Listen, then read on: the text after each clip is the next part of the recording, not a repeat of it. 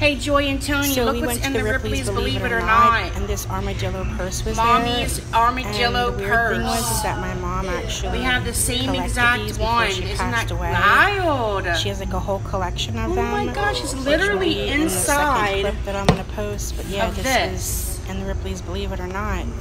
Crazy. So this is the exact same one that was in the Ripley's Believe It or Not.